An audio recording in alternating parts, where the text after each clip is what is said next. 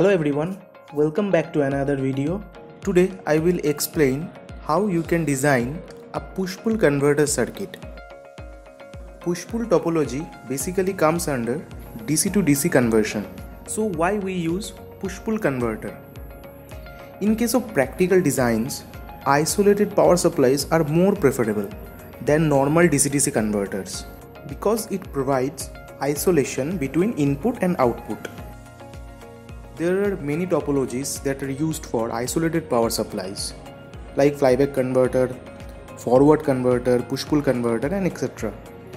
So today we focused on push-pull converters and we will design this circuit for buck operation that means step down operation. So this is the push-pull circuit you can see on the screen. Here basically two mode of operation takes place with two power switches and two linear transformer are used here for step up or step down the voltage as well as provide isolation. Here the switches will on or triggered redundantly. So in the first mode of operation, switch Q1 will on and switch Q2 will off. You can understand from the dot convention how the voltage polarity will be generated across the secondary of the transformer and positive voltage is applied to the anode of the diode and hence it is forward biased and the voltage is reflected in the output. In the second mode of operation, switch Q2 will on and Q1 will off and at this time diode D2 will forward biased and the voltage is extracted from the secondary of the transformer. So before starting with the model design, we have to assume that what is our output voltage, output power, output current should be. So for this some calculations are taken into considerations. Here you can see the input voltage is 100 volt and we are assuming that our output voltage should be 20 volt and switching frequency we are taking as 20 kilohertz and duty cycle is 0.45 and transformer turns ratio we, we are getting 0.22 now assume the output power as 200 watt. Then our output current will be 10 amps and our load resistance is 2 ohm. So considering inductor ripple current as 5% of the load current the inductor value will be 200 microhenry. And considering the output voltage ripple is the 1% of output voltage uh, then we are getting the capacitance value as 78.12 microfarad so this is the little bit of calculations you have to do for this design. Now let's start with the model design and put the values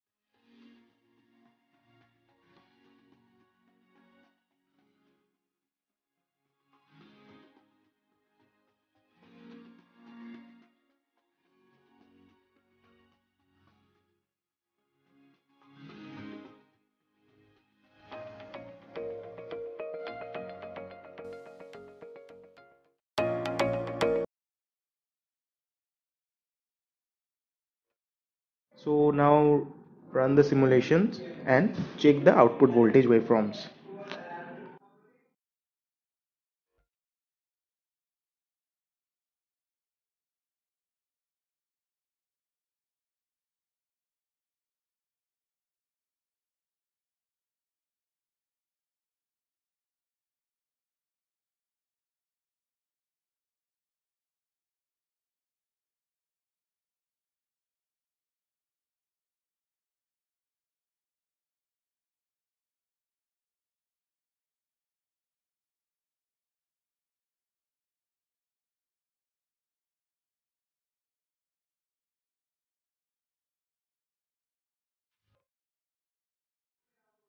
so you can see from the output waveform that our output voltage is constant at 20 volt and the output current is 10 amps. So we are getting approximately 200 watt output.